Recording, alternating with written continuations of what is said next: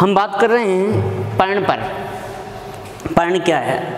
इससे पहले हमने मूल को समझा था। मूल क्या हैं? किस तरह के हैं? क्या क्या मॉडिफिकेशंस है? रूपांतरण क्या क्या है? अब हम बात कर रहे हैं पर्ण पर। सामान्यतया पर्ण जो है वो चपटी संरचना है। हम सब जानते हैं कि जो पत्ती है बिल्कुल चपटी संरचना है। पार्श्व रूप से तने पर व्यवस्थित, तने पर लगी हुई होती है। तना नीचे से ऊपर की ओर डायरेक्शन होती है, जबकि ये तने पर पार्श्व रूप से, जैसे ये तना है तो ये इस तरह से पार्श्व रूप से लगी हुई होती है व्यवस्थित होती है। याद रखिएगा, जो पर्व संधि है, नोड पर्व संधि को कहते हैं नोड। जो पर्व संधि है, नोड है, इस नोड से लीफ निकल सकती है और इसी नोड के यहाँ पर फ्लावर भी निकलता है। तो हम कहते हैं कि इसका जो ओरिजिन है लीफ का जो ओरिजिन है, वो नोड से है पर्व संधि से इसका ओरिजिन है। निकलती है पर्व संधि से ओरिजिन एपिकल मेरिस्टेम के थ्रू है, लेकिन निकलती कहाँ से है ये? नोड से या पर्व संधि से। इम्पोर्टेंट है। इसके साथ साथ इसके कक्ष में, इसका जो कक्ष है उसमें एक कलिका होगी। ये देखिए, यहाँ पर एक डायग्राम बनाया हुआ है लीफ का। इसमें सबसे बड़ा ग्रीन चपटा भाग जो है, वो है पर्णफलक लीफ लेमिना जिसको अपन कहते हैं। इस पर्णफलक को जोड़े हुए एक भाग है, जिसको हम पेटियोल कर रहे हैं पर्णव्रंत कह रहे हैं, पर्ण का व्रंत और ये पर्णव्रंत के बाद में तीसरा भाग, पहला भाग हम इसको कह सकते हैं, दूसरा और ये तीसरा, लीप बेस या पर्णाधार। लीप बेस या पर्णाधार के यहाँ पर एक बड है, एक्सलरी बड जिसको हम यहाँ कह रहे हैं। कलिका जिसको हम कह रहे हैं, एक्सलरी बड जिसको कह रहे हैं तो यहाँ पर एक बड है। ये सभी लीफ के अंदर मिलेगी। याद रखिए, लीफ के बेस पर, लीफ का जो आधारी भाग है, जहाँ से वो तने से जुड़ी हुई है, वहाँ पर एक, वो उसको, उसका कक्ष कहलाता है, वहाँ पर कलिका उपस्थित होती है। इम्पोर्टेंट है। याद रखिए सिंपल लीफ हो या कंपाउंड लीफ हो, सरल लीफ हो या संयुक्त लीफ हो, दोनों के ही लीफ के कक्ष में कलिका होगी। संयुक्त लीफ में कहीं आप कंफ्यूज ना हो जाएँ कि जो पर्णक है, उस पर्णक के कक्ष में नहीं। चाहे सरल पत्ती हो, चाहे संयुक्त पत्ती हो, दोनों ही पर्ण के कक्ष में जहाँ पर तने से वो जुड़ी हुई है, वहाँ पर कलिका मौजूद होती है।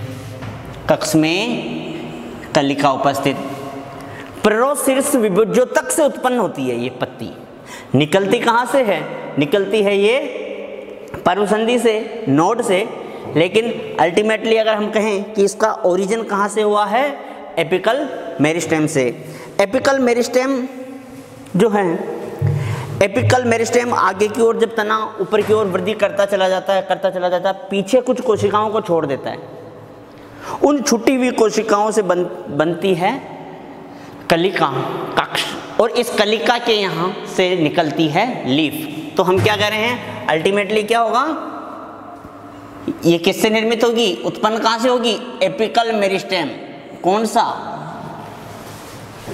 एपिकल शीर्ष एपिकल मेरिस्टेम जो प्राइमरी मेरिस्टेम है प्रोशीर्ष विभिजो तक प्राथमिक वृद्धि के लिए जिम्मेदार है, प्राथमिक वृद्धि को संपन्न करने वाला। ठीक है? ये जो लीफ है, पर्ण है, वो अग्रापिसारी रूप में है। अग्रापिसारी का मतलब होता है एक्रोपिटल हम कहते हैं इंग्लिश में। अग्रापिसारी का मतलब पहले बड़ी, फिर छोटी फिर छोटी फिर छोटी फिर छोटी। इस तरह से। सबसे पहले तने के पास वाली जो पत्ती है, वो पुरानी होगी। उसके पास वाली उससे नहीं, उसके पास वाली उससे नहीं, उसके पास वाली और नहीं। और सबसे पार्श्व रूप में, जैसे ये तना है यहाँ पर जो पत्तियाँ अगर यहाँ है तो ये पुरानी ये पुरानी, ये उससे नहीं ये उससे नहीं ये उससे नहीं बहुत कॉमनली देखने को मिलता है। आप अगर कोई भी पर्ण को देखोगे तो आप देखोगे कि जो पर्ण तने के नज़दीक है, वो बड़ी है और तने से जो दूर है, वो छोटी है। इसको हम कहते हैं अग्राभिसारी क्रम। इंपॉर्टेंट है, कई बार पूछा गया है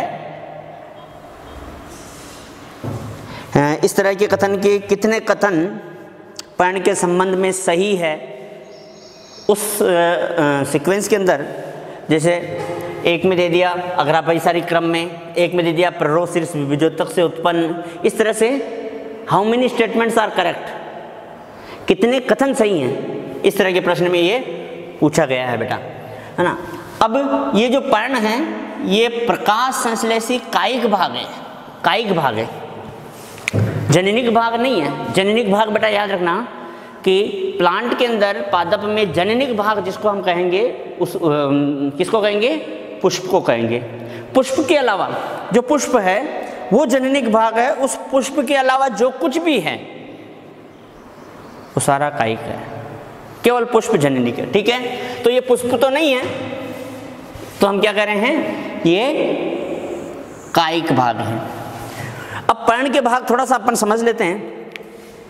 ये लीफ लेमिना पर्ण फलक, सबसे चौड़ा भाग, पतला भाग और प्रकाश संश्लेषी भाग। इस पर प्रकाश संश्लेषण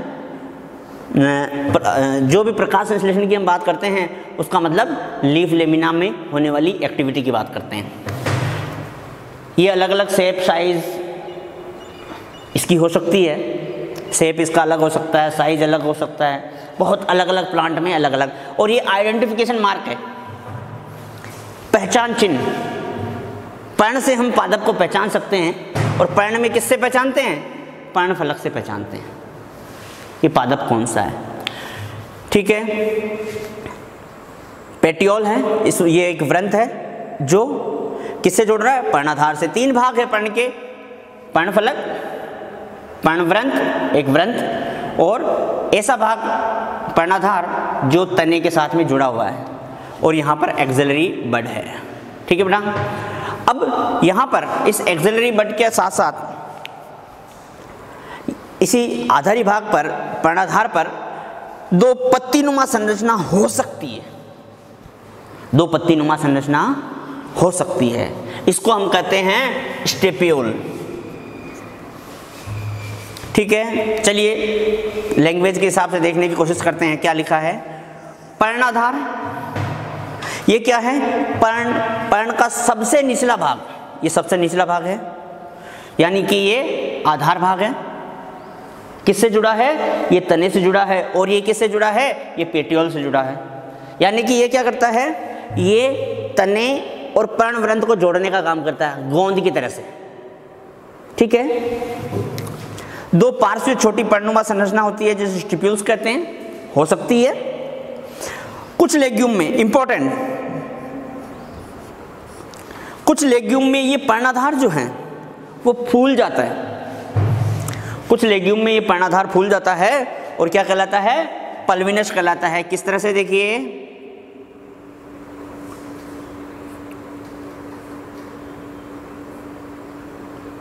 ये फूलावा संरचना।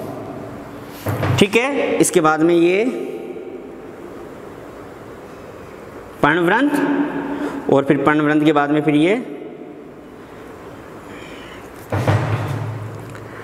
ये इस तरह से ये इस संरचना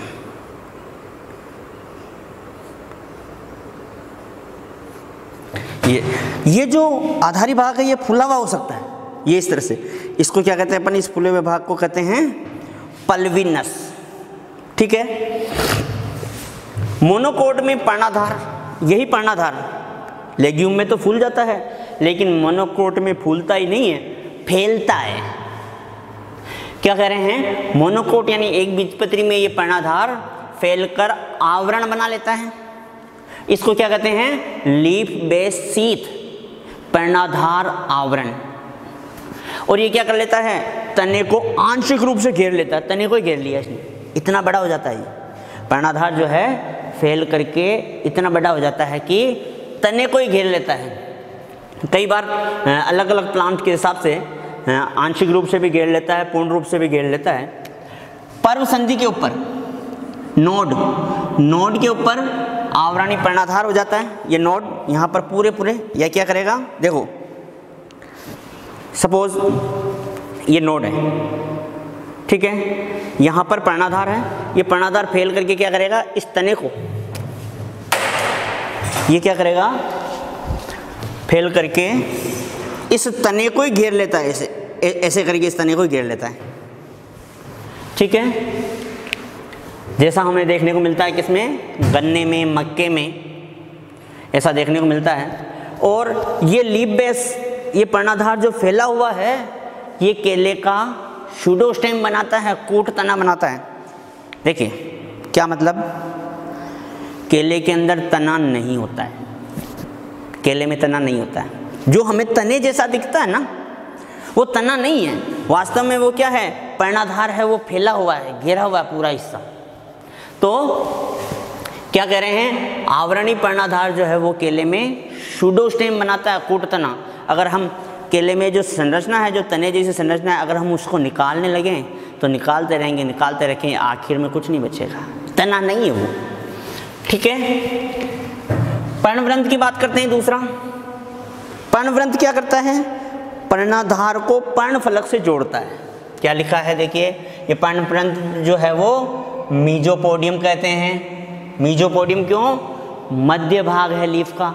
तीन भाग है? उसमें से मध्य भाग है ये पर्णव्रंथ ठीक है? पर्णफलक को हवा में उठाए रखता है। पर्णफलक को ये किस कहाँ उठाए रखेगा? ऐसे हवा में। देखिए, ये पर्णफलक है। अगर ये नहीं होता तो क्या होता? ये पर्णफलक जो है इस तने के साथ जुड़ा होता। लेकिन इस पर्णफलक को जितना पेट्योल लंबा होगा, उतना ही पर्णफल पर्णफलक जो है वो हवा में उठा हुआ रहेगा। अब इससे होगा क्या? हवा में उठे रहने से क्या होगा? पर्ण को पर्याप्त प्रकाश मिलेगा। पत्ती को या पर्ण फलक को पूरा प्रकाश मिलेगा। दूसरा, पर्ण में एक्सचेंज ऑफ़ गैसेस ज़्यादा होगी तो पर्ण ठंडा हो जाएगा। ठीक है? और पर्ण को ताज़ा हवा मिलती रहेगी, उसका जो टेम्परेचर है, वो कम होता रहेगा, कम हो जाएगा। तभी तो हम देखते हैं, गर्मियों में पेड़ों के नीचे बैठने से हमें ठंडक महसूस होती है। एक्चुअली क्या है? वो ठंडक जो है, वो यहीं से आई हुई ठंडक। है वहाँ पत्तियों के आसपास का तापमान कम हो जाता है। अब बात करते हैं पर्ण फलक की। लीफ लेमिना कह देते हैं या लीफ ब्लेड भी इसको कह देते हैं। पर्ण फलक, ये चपटा व फैला हुआ पर्ण का भाग है। हरा है, प्रकाश संश्लेषण इसमें होता है। इसमें सिरा व सिरिकाएँ पाई जाती है। देखिए, ये एक सिरा है। ये एक सिरा है जिस जो मोटी होती है बीच में इसको मध्य सिरा कहते हैं। क्या कहते हैं इसको? मध्य सिरा कहते हैं। और इस मध्य सिरा से जो जुड़ी हुई संरचना है वो है सिरिकाएँ। तो सिरा व सिरिकाएँ इसमें उपस्थित होती है। मध्य सिरा मोटा होता है। अब सिरा क्या कर, करती है? पर्ण फलक को बनाए रखती है। कैसे? देखो। पर्ण फलक में अगर सिरा और सिरिकाएँ नहीं हो ये पर्ण फलक सपोज़ समझने के लिए। ये पर्ण फलक। अगर सिरा और सिरिकाएँ नहीं हो तो ये पर्ण फलक कैसा हो जाएगा? ऐसे मुड़ जाएगा। क्योंकि इसकी संरचना को, इस पर्ण फलक की संरचना को बनाए रखने का काम कौन करता है? सिरा व सिरिकाएँ। कनेक्ट रखती है, उसकी आकृति को बनाए रखने का काम करती है। अगर ये हट जाए तो ये पत्ती ऐसे सिकुड़ के इस तरह से हो जाएगी। ठीक है? इन सिरा के अंदर संवहन उत्तक भी होते हैं। मोटी जो दिखती है ना अपने को, मोटी होने का मतलब है जो सिरा, ये मिड्रिप या सिरा, मध्य सिरा, जितनी मोटी होगी, इसका मतलब उसके अंदर संवहन तक जाइलम फ्लोएम उतने ही बड़े हैं। ठीक है? तो ये जाइलम और फ्लोएम क्या करेंगे? ये जाइलम और फ्लोएम क्या करेंगे? परिवहन का काम करेंगे। जाइलम क्या करेगा? जाइलम मृदा से, या यहाँ पर लीफ की बात करें तो जाइलम क्या करेगा? तने से जल व खनिजों को खींचेगा। फ्लोएम क्या करेगा? जो फ़ूड बनाया है, उसको वितरण करेगा, उसको तने तक पहुंचाएगा। तो हम कह रहे हैं कि परिवहन का काम करता है। किसका परिवहन? जल व खनिजों का और साथ साथ भोजन का। ठीक है? इस पर्ण फलक ये बड़ा इंपॉर्टेंट है। आकार, आकृति, किनारे आदि में बहुत भिन्नता होती है और इसकी भिन्नता के कारण ही हम एक पादप को पहचान पाते हैं। ठीक है? और ये भिन्नता बड़ी इंपॉर्टेंट है प्लांट टेक्सोनॉमी के पॉइंट ऑफ़ व्यू से। ठीक है? अब हम बात करते हैं दूसरे टॉपिक पर, इसी में पर्ण विन्यास फाइलोटैक्सी पर्ण विन्यास क्या है? पर्ण का तने पर व्यवस्था। कि पर्ण इस तने पर लगी हुई कैसे? पर्ण की तने पर अरेंजमेंट कैसा है? पर्ण की तने व शाखाओं पर व्यवस्था। इसको पर्ण विन्यास कहते हैं। देखो, ये व्यवस्था तीन तरह से हो सकती है। समझिए। एक है अल्टरनेट। अल्टरनेट का मतलब देखिए, इस प्लांट में देखिए आप। ये एक नोड है। ये एक नोड है। ये एक नोड है। जहाँ पत्तियाँ निकल रही है, वो नोड है। नोड से पत्तियाँ निकलती है। ठीक है? तो देखिए आप हर एक नोड से एक ही पत्ती निकल रही है, एक ही पर्ण निकल रही है हर एक नोड से। और वो भी किस तरह से निकल रही है? एक नोड से लेफ़्ट में निकल रही है तो अगले वाले नोड से राइट में निकल रही है। फिर उससे अगले वाले नोड में लेफ़्ट से लेफ़्ट, राइट लेफ़्ट, राइट, इसको हम कहते हैं अल्टरनेट अरेंजमेंट यानी कि एक नोड से एक पर्ण निकलती है, अगली पर्ण उससे अपोजिट डायरेक्शन में होती है अल्टरनेट वे में। ठीक है? किसमें मिलता है ये?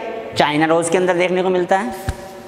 चाइना रोज गुड़हल में ऐसा देखने को मिलता है। और सरसों में देखने को मिलता है। सनफ्लावर सूर्यमुखी में देखने को मिलता है। सूर्यमुखी में। संरचना अलग हो सकती है लीफ की। बेटा, यहाँ सिर्फ़ आप स्ट्रक्चर पे मत जानना कि सर नहीं, इस तरह की पत्ती तो नहीं होती है। ये सिर्फ़ समझाने के हिसाब से मैं बता रहा हूँ कि किस तरह से अरेंजमेंट होता है। बाकी मस्टर्ड की लीफ अलग तरह से होती है। ये सिर्फ़ समझाने के लिए बता रहा हूँ कि अरेंजमेंट लीफ का कैसा है। ठीक है? सेकंड जो है वो है अपोजिट विपरीत। विपरीत में दो तरह से अपोजिट सुपरपोज्ड या सुपर और दूसरा opposite decussate superimpose superposed का मतलब है अध्यारोपित। ठीक है? किस तरह से? स्ट्रक्चर में देखिए आप, एक नोड है। ये एक नोड ये एक नोड एक नोड पर दो पर्ण लगी हुई है। अल्टरनेट में क्या था? एक नोड पर एक ही पर्ण थी। एक नोड पर दो पर्ण है। इस नोड पर दो पर्ण है। दोनों की ही डायरेक्शन अपोजिट है। एक दूसरे, बिल्कुल अपोजिट एक लेफ़्ट एक राइट लेकिन एक नोड पर लेफ़्ट राइट अगले नोड पर, बिल्कुल सेम उसी तरह से जैसा पहले वाला नोड है, उसी तरह से लीफ का अरेंजमेंट है। उसको हम कहते हैं अपोजिट सुपर इम्पोज किस तरह से? देखिए।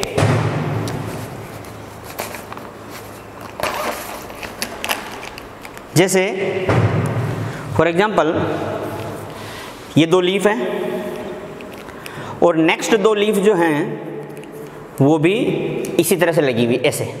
और बीच का जो पोर्शन है, ये स्टेम है। तो बिल्कुल सेम नोड है ये दोनों। और ये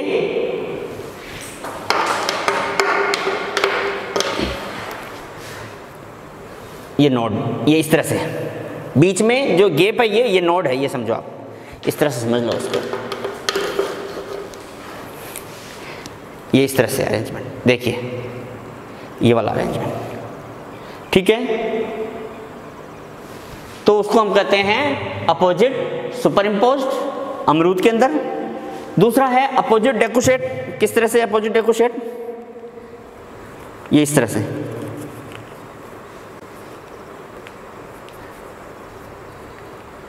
ये इस तरह से।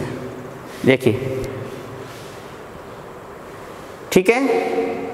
यानी कि एक नोड पर दो लीफ हैं, अगले नोड पर भी दो लीफ हैं, लेकिन अगर हम प्लेन की बात करें तो 90 डिग्री का एंगल है। देखिए। ठीक है? बिल्कुल 90 डिग्री का एंगल है। तो इस तरह की जो संरचना है, उसको हम कहते हैं अपोजिट डेकुशेट, यानी इन दोनों के बीच में जो एंगल है वो 90 डिग्री का है। आक केलोट्रोपिस प्रोसेरा क्या नाम होगा बॉटनिकल नेम केलो ट्रोपिस प्रोसेरा। याद रखना है बेटा, बड़ा इंपॉर्टेंट है मॉर्फोलॉजी पॉइंट ऑफ़ व्यू से। कई बार आएगा ये नाम। ठीक है? और एग्ज़ाम में अगर पूछा जाता है एग्ज़ाम्पल के दृष्टिकोण से तो सबसे पहला नाम आग का आता है। केलोट्रोपिस प्रोसेरा। ठीक है, चलिए। उसके बाद तीसरा है, चक्रीय। ये एक नोड है। इस एक नोड पर कई पत्तियाँ लगी हुई है, कई पर्ण लगी हुई है, और चक्रीय अरेंजमेंट में। जैसे ये एक नोड है। ये एक नोड है। इस नोड पर ये पत्तियाँ लग रही है, देखिए। ये इस तरह से। ये इस तरह से। चक्रीय अरेंजमेंट में। ये चक्रीय है ये नोड है। इस तरह से। तो एग्ज़ाम्पल क्या है? नीरियम नीरियम इंडिकम कनेर नीरियम किसको कहते हैं? अरे देखिए कनेर कनेर के फूलों को पूजा की थाली में सजाया जाता है। कनेर नीरियम इंडिकम और दूसरा है एल्स्टोनिया या डेविल्स ट्री भी इसको कहते हैं एल्स्टोनिया को। तो दो नाम दो नाम याद रखने हैं इसमें चक्रिय में।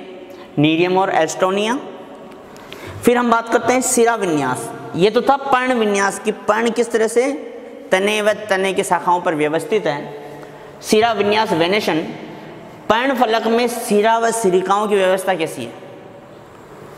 अब पर्ण फलक के अंदर सिराएँ और सिरिकाएँ किस तरह से अरेंजमेंट में हैं, उसकी बात करते हैं। सबसे पहला है रेटिकुलेट जालिकावत सिरा विन्यास।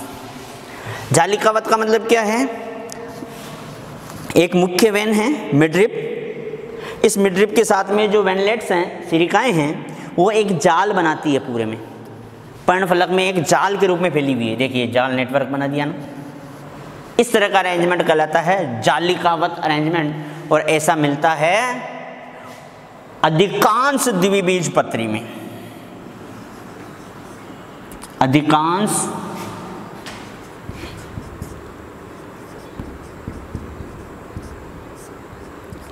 द्विबीज पत्री में देखने को मिलेगा। एग्ज़ाम्पल पीपल है, आम है। कई एग्ज़ाम्पल है द्विबीज पत्री के। दूसरा है समानांतर या पैरेलल वेनेशन पैरेलल शिराविन्यास। समानांतर शिराविन्यास। देखिए, इसमें हमें ऐसा नहीं लग रहा है, दिख नहीं रहा है, ऐसा नहीं लग रहा है कि कोई मिड्रिब है, मध्य सिरा है। सारी के सारी जो सिराएँ हैं, सारी की सारी जो सिरिकाएँ हैं, वो एक साथ पैरेलल रूप से जा रही है और आखिर में एक पॉइंट पर इमर्ज हो रही है। एक पॉइंट पर जाकर के मिल रही है। ठीक है? बहुत कॉमन सा है। हालाँकि इस समानांतर सिरा विन्यास के भी कई वेरिएंट्स हैं, कई अलग अलग रूप हैं। हमें उन रूपों पर नहीं जाना है कि एक जगह किस तरह से मिल रही है। जैसे आप देखोगे केले के अंदर तो केले के अंदर ये अलग तरह से रूप मिलेगा। किस तरह से मिलेगा केले में?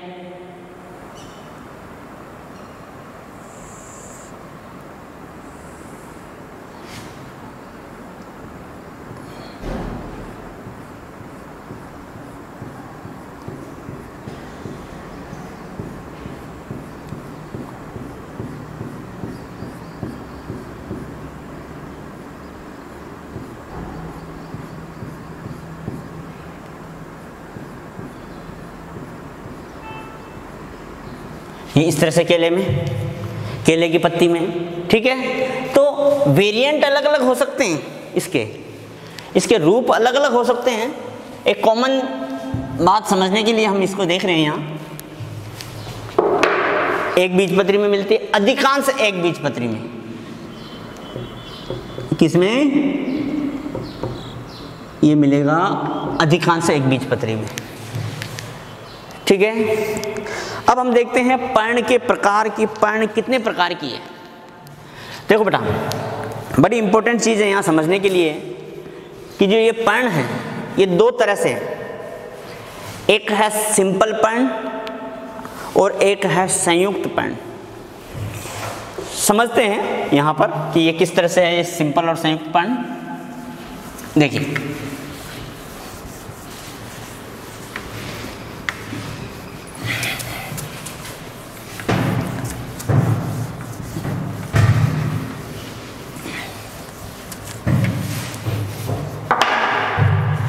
सिंपल पर्ण का मतलब क्या है? कहीं पर भी कोई कटाव नहीं है। सिंपल पर्ण यहाँ इधर देखिए समझ, समझने के लिए। ये पर्ण है। ठीक है? ये पर्ण व्रंथ है।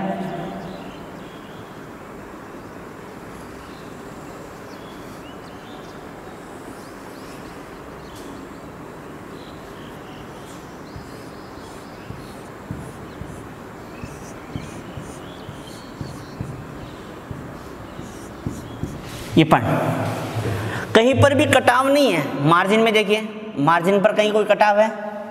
नहीं है। उसको हम कहेंगे सिंपल पॉइंट और अगर कटाव हो भी, भाई दो तरह की तो हो सकता है सिंपल पॉइंट में। या तो मार्जिन से कोई कटाव नहीं हो। मार्जिन पर कोई कट नहीं लग रहा है। और अगर कट लगता भी है तो ये जो मिडरिब है यहाँ तक नहीं पहुँचे। उसको हम सरल पत्ती कहेंगे। क्या कह रहे हैं? सरल पत्ती जिसके मार्जिन पूरी तरह से सही हो कटाव कटा फटा नहीं हो नंबर एक। और अगर कटा फटा है भी तो उसका जो कटाव है, वो मध्य सिरा तक नहीं पहुँचे। यहाँ तक नहीं पहुँचे। कैसे? देखिए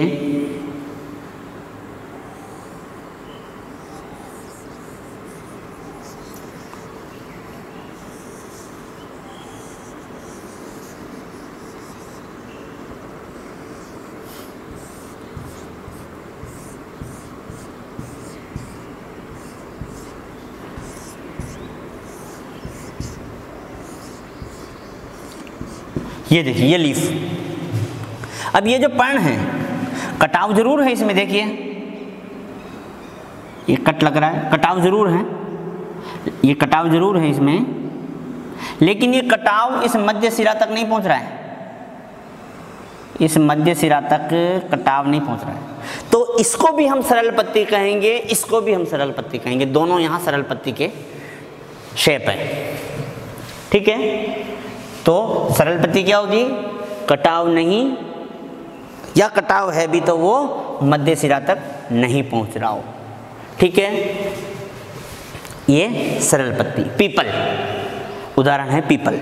एग्ज़ाम्पल पीपल। अब देखिए। अब कटाव है। भाई कटाव नहीं है या है और मिड रिप तक नहीं पहुँच रहा तो सिंपल। कटाव है और मिडरिप तक पहुँच रहा है तो अलग टर्म हो जाएगी। और कटाव है और मिडरिप तक नहीं पहुँचता, बल्कि कहाँ तक पहुँचता है? पेटियोल तक पर्णव्रंथ तक। भाई, कट लग सकता है तो या तो मिडरिप तक पहुँच सकता है या पेटियोल तक पहुँच सकता है। दोनों के लिए अलग टर्म है। समझिए, देखो। पिन्नेट, जैसे ही कट लगा, मिडरिप पर टच हो रहा है या पर्णव्रंथ पर टच हो रहा है हम उसको संयुक्त पर्ण मान लेंगे। पिछाकार में कहाँ टर्न होता है? कहाँ कहाँ टच होता है? मध्य सिरा पर।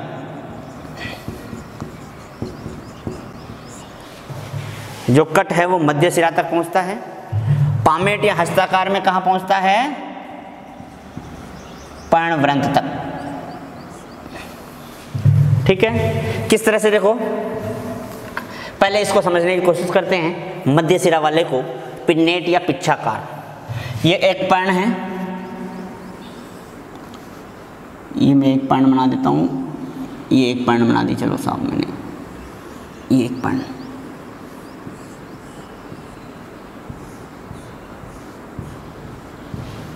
ठीक है? अब इसके यहाँ पर इंसीजन हो रहा है, कटाव हो रहा है। इंसिजन हो रहा है, कटाव हो रहा है। तो कितने ही कटाव लगे, लेकिन एक टाइम पर एट ए टाइम एक ही बार हो। एक बार, एक समय में एक बार हो, कटाव कितने भी हो सकते हैं। समझो देखो इस बात को, जैसे ये है।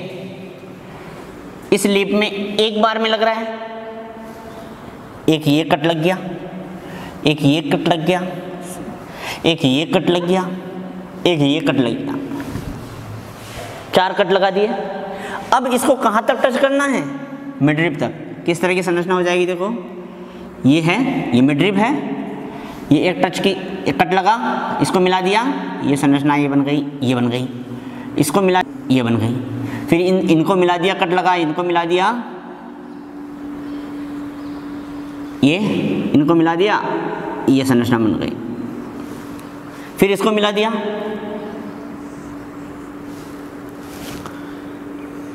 ये संरचना बन गई फिर इसको मिला दिया ऊपर वाले को। ये पूरी संरचना ऐसी बनेगी। ऐसी बन गई ये संरचना देखिए, ये कट लगा, ये यहाँ मिल गया। ये कट लगा, ये यहाँ मिल गया। ये कट लगा, ये यहाँ मिल गया। ये कट लगा, ये यहाँ मिल गया। ये कट लगा, ये यहाँ मिल गया। अब इसको हमने काट दिया। मिड्रिप तक। ये हटा लो इसको थोड़ा।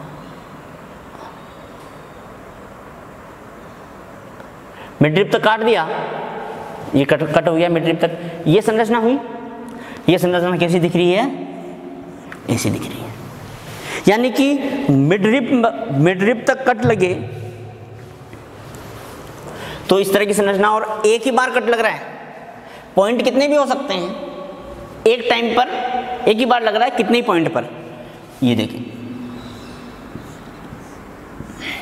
ये। अब जो ये संरचना हो गई।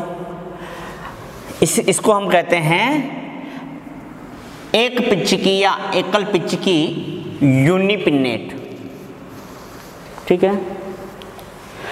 एक टाइम पर कट लग रहा है। एक कट नहीं लग रहा है। एट ए टाइम एक एक बार कट लग रहा है। कट के पॉइंट्स कितने भी हो सकते हैं। अब एकल पिच की हो गया अब सब दूसरी बार फिर कट लगे। किस तरह से हो जाएगी ये संरचना? अब इसमें कट लगा रहे हैं। दूसरी बार, देखिए। सपोज़ यहाँ पर ये कट दो दो कट लगा के देखते हैं। ये कट लग गया, ये कट लग गया, ये कट यहाँ लग गया, ये।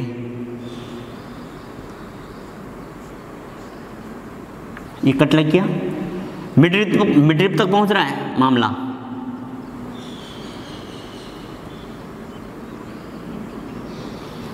तो संरचना किस तरह से हो रही है?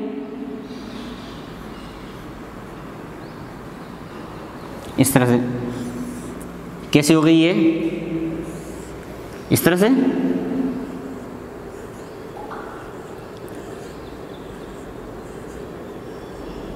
इसी तरह से बन रही है? बना के देख लेना। इस तरह से बनेगी। तो ये क्या हो गया? ये हो गया द्विपिच्छ की एक इधर हो गई, एक इधर हो जाएगी। इसको भी यहाँ कट लगाओ।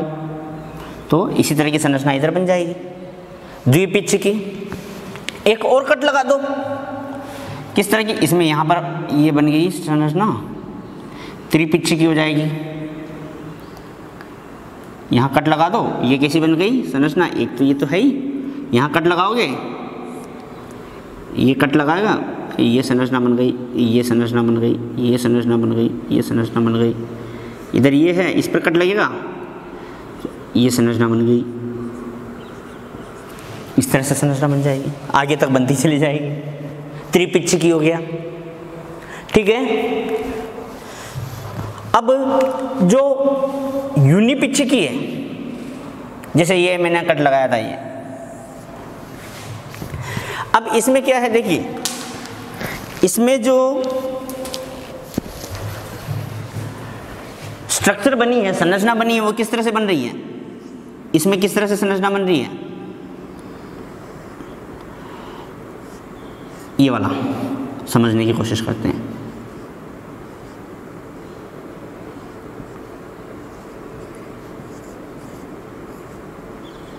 इस तरह की संरचना बन रही है। ठीक है? यानी कि अगर हम पिन्ना, ये जो है, इसको हम पिन्ना कहेंगे, ये पिन्ना है। लीफ नहीं है, ये एक, ये वाला हिस्सा एक लीफ नहीं है, ये एक लीफ नहीं है, ये पूरी की पूरी संरचना जो थी ना, वो एक लीफ है। अब ये छोटी छोटी जो स्ट्रक्चर्स हमारे को दिख रही है, इसको हम कहते हैं लीफलेट या पिन्ना। क्या कहते हैं? लीफलेट या पिन्ना। ठीक है? अब ये पिन्ना अगर हम काउंट करें, और सम संख्या में आए। तो उसको हम कह देते हैं पेरीपिनेट। ये देखिए। One two three four five six seven eight nine ten सम संख्या में है। पेरीपिनेट। एग्ज़ाम्पल क्या हो गया? इमली। इसी तरह से विषम में आए। जैसे one two three four five इसको क्या कह दिया अपन ने? इम्पेरिपिनेट इम इम्पेरिपिनेट पर्णक विषम है? एग्ज़ाम्पल क्या हो गया? उदाहरण क्या हो गया? गुलाब और नीम। द्विपिच्छ की अकेशिया बबूल। त्रिपिच्छ की मोरंगा। ये एग्ज़ाम्पल आपको याद रखने पड़ेंगे बेटा। ये पिक्चर समझ आई? आगे चलें। चलिए। अब अगर लीफ का जो कट है वो कहाँ तक है? मध्य सिरा वाला समझ लिया। पर्णव्रंत तक कट लग रहा है। पर्णव्रंत तक कट लगाओ। ये एक लीफ। ये एक लीफ है। पर्णव्रंत यहाँ पर कट लगाओ। यहाँ पर कट लगाओ। देखो, किस तरह से कट लगेगा? यहाँ पर किस तरह से कट लगेगा, देखो। ये कट। ठीक है? अब ये यहाँ पर टच नहीं हो रहा है। कट लग करके कहा? मध्य सिरा पर अटैच नहीं हो रहा है। कहाँ अटैच होगा? पर्णव्रंत पर। पर्णव्रंत पर किस तरह से अटैच होगा ये? देखो, ये कट लगा, ये यहाँ ये अटैच हो गया, इधर। और ये कहाँ अटैच हो रहा है? ये, यहीं अटैच हो रहा है। जो कट लगा है, वो कहाँ अटैच होता है? अगर मध्य सिरा पर अटैच होता है तो पिन्नेट पिछाकार और अगर पेटियोल या पाणव्रंत पर होता है तो हस्ताकार। कितनी बार लगा था कट? एक ही बार लगा था। क्या हो गया? एकल पिच्छ की, ये देखिए, ये संरचना सिट्रस में है। सॉरी एकल पिच्छ की नहीं यूनिफोलिएट एकल हस्ताकार। यूनिफोलिएट कहते हैं अंग्रेज़ी में, एकल हस्ताकार हिंदी में कहते हैं। एकल हस्ताकार। इसी तरह से अगर दो बार लग रहा है, एक बार लगा, इस तरह की संरचना हो गई। ठीक है? और दो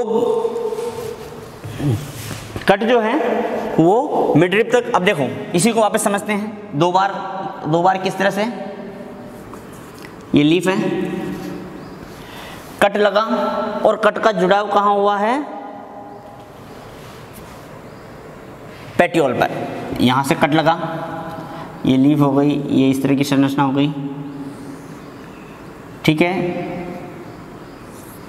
ये लीफ की संरचना थी, इसका ये जो कट है, ये कहाँ लग गया? ये लग गया कहाँ पर? यहाँ पर, यानी कि पेट्योल पर।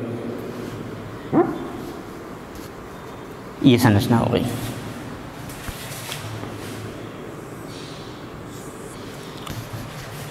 तीन बार इसी तरह से ट्राईफोलिएट हो जाएगा। और मल्टीफोलिएट कई बार हो जाता है। बॉम्बैक्स मोराई बॉम्बैक्स के अंदर। ट्राईफोलिएट का एग्जांपल बील डाईफोलिएट द्विहस्ताकार बेलेनाइटिस एकल हस्ताकार सिट्रस नींबू ट्राईफोलिएट त्रिहस्ताकार बील के अंदर। चलिए, ये बात समझ में आई हमें कि पैंट जो है वो किस तरह से हैं, उनके टाइप्स क्या हैं। एग्ज़ाम्पल के साथ में। अब हम बात करते हैं पर्ण के रूपांतरण क्या क्या हैं। पर्ण के जो रूपांतरण हैं, प्रतान में कन्वर्ट हो जाना पर्ण का। प्रतान क्या बेटा? देखो, सुनो। जैसे, समझिए इधर। यहाँ समझा दूँ।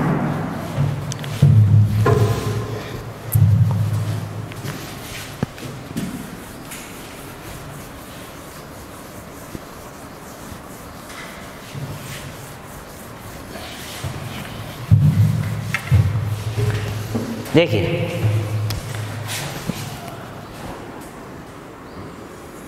ये स्टेम है, ये लीफ है।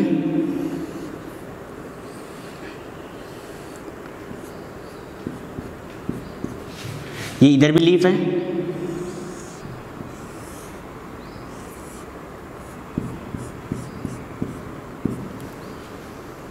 ठीक है, ये यहाँ पर भी लीफ है।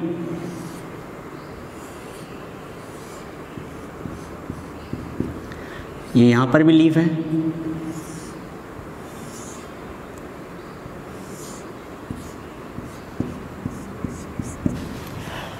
अब एक लीफ जो है प्रतान में कन्वर्ट हो जाती है। प्रतान पता है? हरी नलिकाकार, कुंडलित नलिकाकार संरचना है। हरी कुंडलित नलिकाकार, किस तरह से संरचना है ये? ये इस तरह की संरचना है। जो आप लोगों ने देखा, आपने देखा होगा, जो बेल है, बेल, उस बेल में इस तरह की संरचना होती है और ये हिस्सा किसी वायर से, किसी दीवार से, किसी शाखा से अटैच होता है और उसके चारों ओर लिपट जाता है। ठीक है? अब ये संरचना किस तरह से बन गई? ये जो लीप थी, ये लीप कन्वर्ट हो गई किसमें? प्रतान में, इसको कहते हैं प्रतान, ये इस तरह से। प्रतान में कन्वर्ट हो गई साहब। ठीक है? ये लीफ किसमें कन्वर्ट हो गई? प्रतान में कन्वर्ट हो गई। एग्ज़ाम्पल क्या है? जंगली मटर में लेथायरस अफाका इस तरह से पूरी की पूरी लीफ जो है वो प्रतान में कन्वर्ट हो जाती है। अब लीफलेट प्रतान में कन्वर्ट हो। लीफलेट जो है वो प्रतान में कन्वर्ट हो जाए। ये तो लीफ हो गई। लीफलेट प्रतान में कन्वर्ट हो, जैसे सपोज़ ये पूरी लीफ थी, ठीक है? ये पूरी लीफ थी, ये लीफ का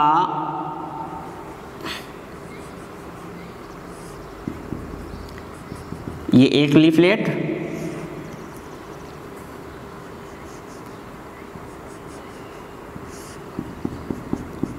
ये दूसरा लीफलेट, ये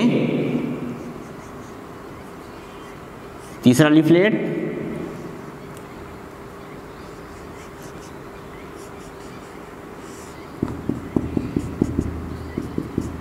चौथा लीफलेट, और सपोज़ यहाँ कोई, ये एक और लीफलेट बना देता हूँ मैं। ये लीफलेट। ठीक है? अब ये पूरी की पूरी लीफ है, ये पूरी की पूरी लीफ है। ठीक है ना? तो अब इस लीफ में से एक लीफलेट जो है, वो प्रतान में कन्वर्ट हो जाता है। सपोज़ ये लीफलेट है, ये प्रतान में कन्वर्ट हो गया। ये इस तरह से। देखने को मिलता है। ठीक है? एग्ज़ाम्पल क्या हो गया? मीठा मटर लेथाइरस एडोटरस और पाइसम सेटाइवम गार्डन पी जो कॉमन है नाम पाइसम सेटाइवम में इस तरह से होता है। अब ये लीफलेट जो हैं, वो हुक की तरह भी कन्वर्ट हो सकते हैं। हुक की तरह से किस तरह से? ये लीफलेट है, इसी में समझा देता हूँ मैं। ये ये लीफलेट है सपोज़ यहाँ लीफलेट था। ये लीफलेट था। ये हुक में कन्वर्ट हो जाता है। किस तरह से हुक में कन्वर्ट होगा? ये लीफलेट जो है ये इस तरह के स्ट्रक्चर में बदल जाता है। ठीक है? किसमें देखने को मिलता है? बिगनोनिया। बिगनोनिया। एस्पेरेगस इसमें देखने को मिलता है, बिगनोनिया और एस्पेरेगस में। पर्ण जो है, पूरी की पूरी पर्ण जो है, शूल कांटों में बदल जाती है। जैसे ये पर्ण है।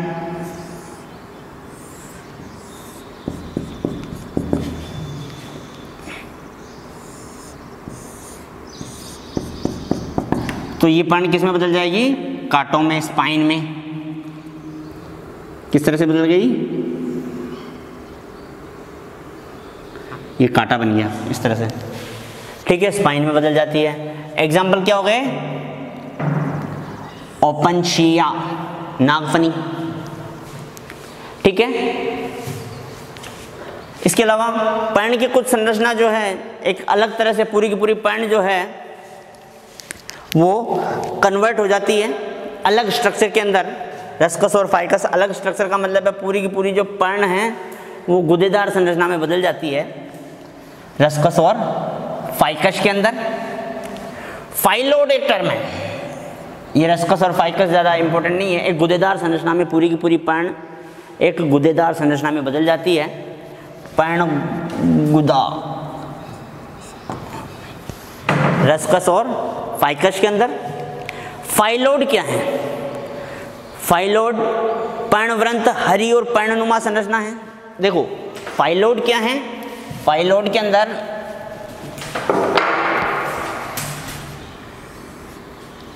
ये है संरचना।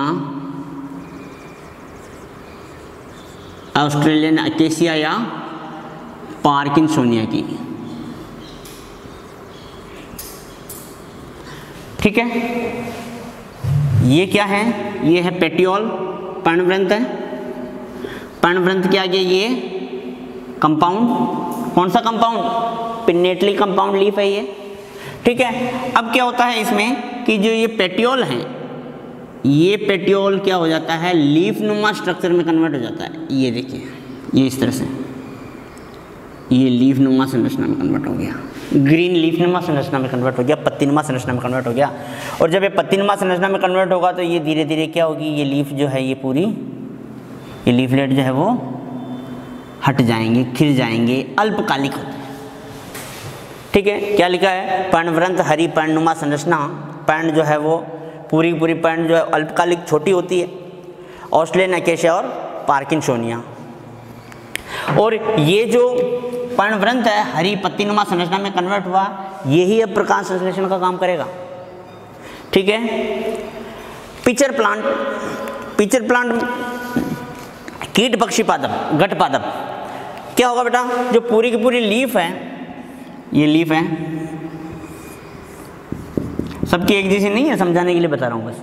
ये लीफ है, ये लीफ किसमें कन्वर्ट हो जाएगी? पूरी की पूरी लीफ किसमें कन्वर्ट हो जाएगी?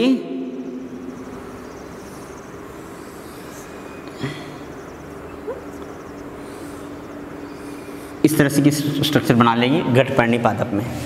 पिक्चर प्लांट है, कीट पक्षी पादप, नाम है उसका Nepenthes leaf bladder leaf bladder में क्या है? जो लेमिना है लीफ लेमिना है, वो ब्लेड नुमा संरचना में कन्वर्ट हो जाता है, नुकीली संरचना में कन्वर्ट हो जाता है। एग्ज़ाम्पल है यूट्रिकोलेरिया इसके साथ साथ फ्लेसी लीव्स लीव जो है वो मांसल हो जाती है। किसमें? मांसल व गुदेदार हो जाती है किसमें? प्याज व लहसुन के अंदर जो हम खाते हैं ना प्याज लहसुन में वो गुदेदार मांसल पत्तियाँ हैं